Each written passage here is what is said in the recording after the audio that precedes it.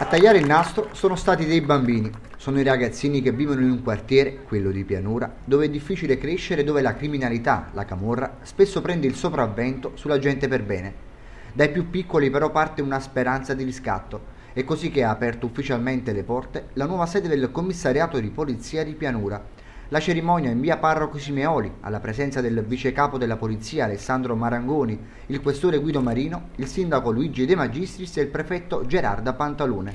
Napoli è al centro dell'attenzione nazionale. Napoli non è l'ultima città d'Italia, ma una delle prime e quando c'è una criticità su Napoli ci si preoccupa a Roma di affrontarla e di risolverla ha detto il vice capo della polizia Marangoni, ha sottolineato il potenziamento delle forze dell'ordine sul territorio. Sono convinto che questa è una struttura non della polizia ma dei cittadini di Pianura. Pianura, i cittadini, la gente di Pianura la gente di Pianura si deve sentire a casa sua perché questa è casa sua.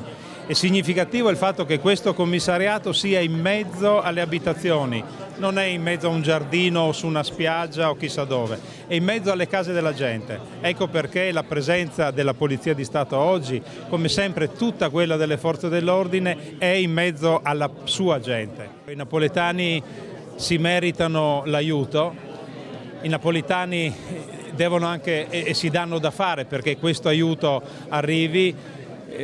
Eh, però vedete io in fondo al tunnel vedo la luce, dobbiamo essere propositivi, dobbiamo crederci nelle cose, vedete questo commissariato ci ha impiegato quattro anni per poter essere inaugurato, forse un po' lunghi, va bene, però ce l'abbiamo fatta, in fondo al tunnel c'è la luce. Il questore di Napoli Marino invece ha invitato i cittadini a collaborare con la giustizia per contrastare la criminalità.